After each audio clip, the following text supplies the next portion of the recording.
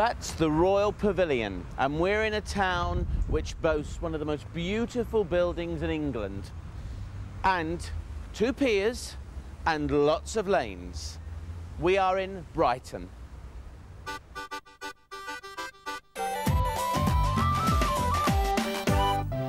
Originally called Brighthelmstone, Brighton, Sussex boasts, amongst other things, the fabulous Royal Pavilion, a testimony to its royal patron, the Prince Regent. I have no qualms in telling you all that this is one of my most favourite buildings in the country. And I also don't mind telling you, this is the first time I've ever been inside. Share that experience with me. The table is ready as if for a meal set out for the dessert course. I did not know that it's bad manners, also nowadays, to eat a main course with golden cutlery. Were you aware of that? It's terribly nouveau riche, don't do it. main, main course, I beg you, use the simple silver. Gold is only reserved for dessert. That crystal chandelier in the center actually weighs one ton and is nine meters high. Helinka, this reminds me of King Henry VIII's kitchens in Hampton Court. Not dissimilar, they're absolutely huge, aren't yes, they? Yes, very, very big. This kitchen was designed by John Nash. Buckingham Palace, John Nash? John Nash, exactly, the very same. And it was considered to be a state-of-the-art kitchen at the time. Now, George was not known as an early riser. I suppose because he liked gay evenings and thoroughly enjoying himself. And he'd come in here of a morning probably yawning and get down to business. Now, this is probably the reason why he was kept up late, because this is one of just only a couple of stalls that they have left. And although he didn't really sing very well, he did love music and thought of himself as a bit of a nightingale. And he employed an orchestra to entertain him. And these are the little stools on which his orchestra sat. Does that look three-dimensional to you? Optical illusion. That is absolutely flat.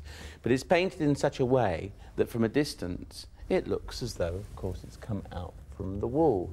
And this is well, perhaps one of George's most favourite rooms. Only if you were one of his most intimate buddies could you come in here and, and while away the late afternoons and into the evening with him. Now, this was George's music room, and it said that when he first saw this room, he wept because of the beauty of it. And I must admit, I have not been one bit disappointed about this Royal Pavilion. It is quite stunning, quite perfect. There's oriental style here, of protective dragons and chandeliers.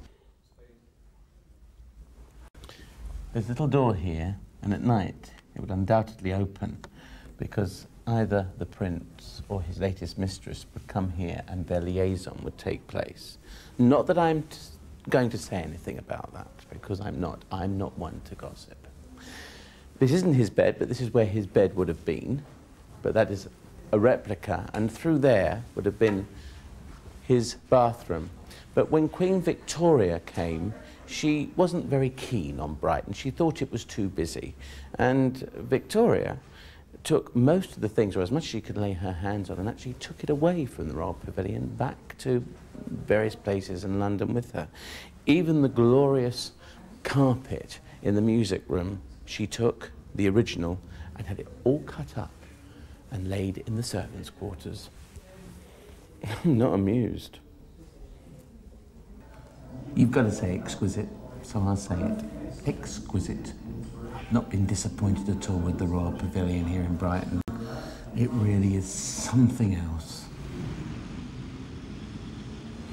We're entering the lanes of Brighton now, famous for its antique shops, but in the past it was the old fishing quarters of the then village, now town.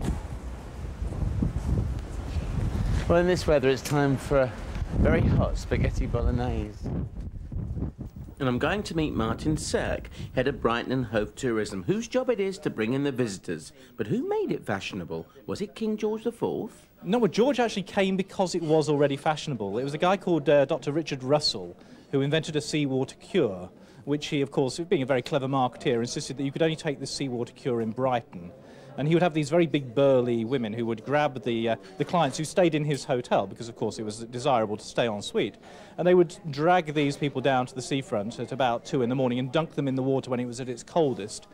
Uh, and then force them to drink hot, boiling hot seawater by the pint, mixed with various ingredients, which I, I really ought to remember. But it included cream of tartar, prepared viper flesh, um, squashed up wood lice, and various other fine delicacies. And I understand that George tried it once and then decided that the rest of Brighton was very fine, but the seawater cure could go and look after itself. So I emerged from these bushes, I better brave the elements. Oh, so ask these.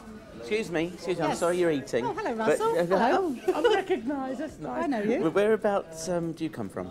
Oh, we're just here for a couple of days. Are you? We're from out of town. Are you and you, do you like Brighton? Love it. We come here to do our shopping. Yeah. What we always eat here. Do you? Yeah. And what sort of uh, places do you like to go and shop? All the lanes just here. Oh. Wonderful clothes.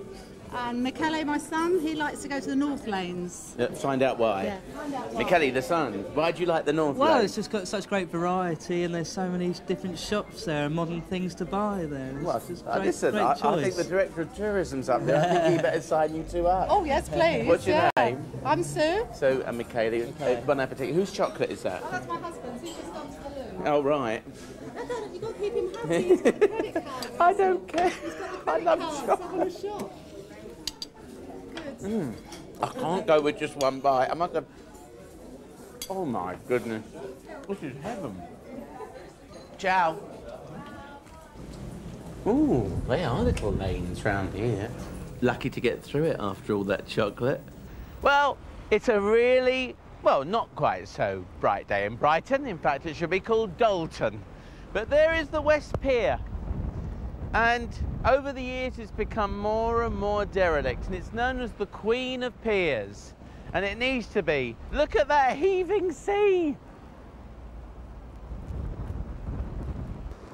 Well, we're heading towards the West Pier, but I feel as though I'm heading towards the ends of the earth here, Rachel. Now we're coming towards what would this have used to have been? This was the concert hall, um, and it was. Uh, it, it had various incarnations, but it was uh, obviously, as as the name suggests, a place for, for music.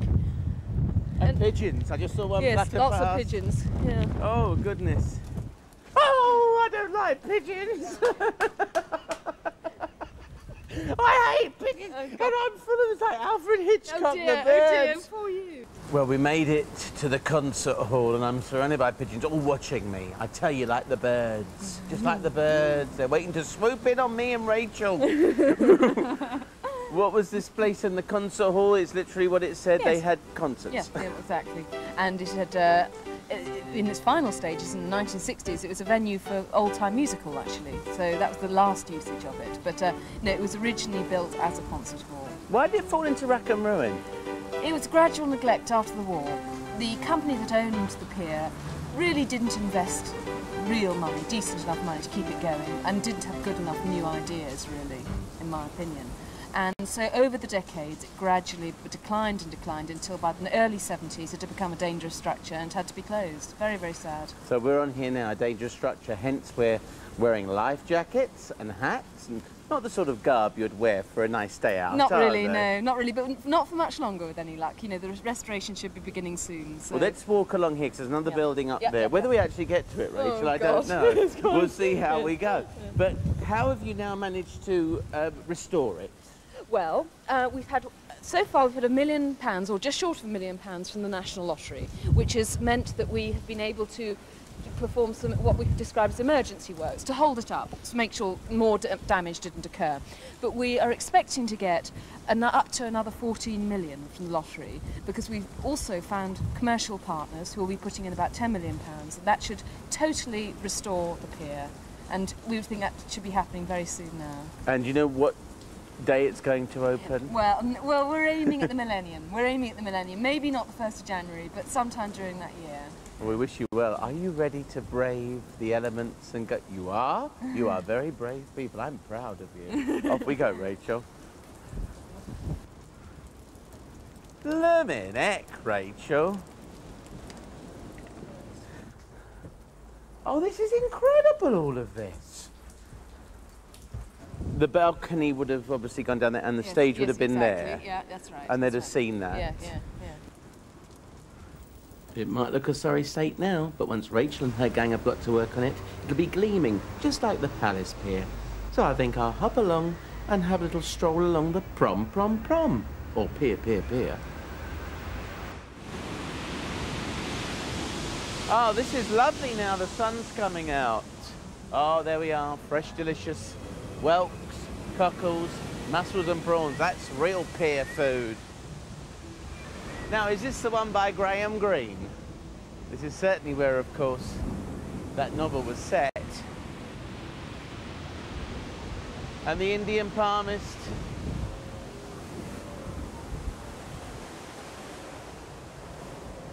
closed due to unforeseen circumstances. The old ones are the best.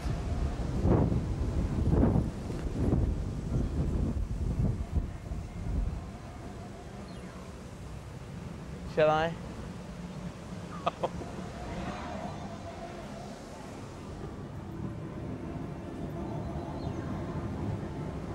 I gone into the wrong hole? Let me in the other hole.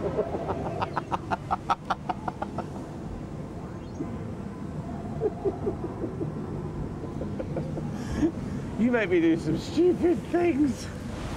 Well, that's it. Wiedersehen. Cheerio. Farewell. Sayonara. hi vasti, Adieu.